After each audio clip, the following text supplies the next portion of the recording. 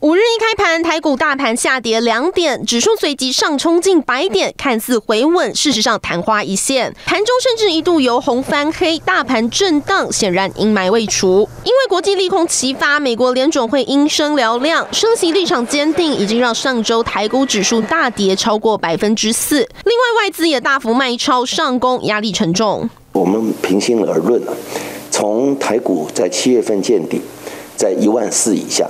反弹到一万五千四百多点，这一波的反弹幅度拉回修正已经差不多二分之一左右。我觉得现阶段啊，台股先求止跌了。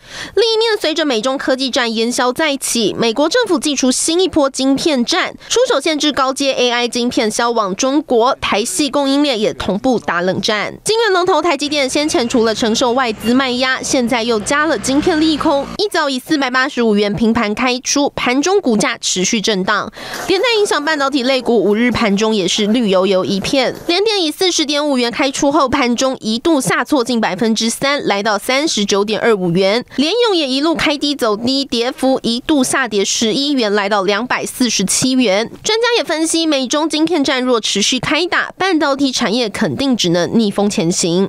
近期，那么美国对于中国在半导体的整体的管控以及全面封锁的一个力道，那么是持续的一个加强。那这个都显示了未来在中国本土，那么在半导体业的技术的一个发展上，那么将会面临比较大的一些阻碍。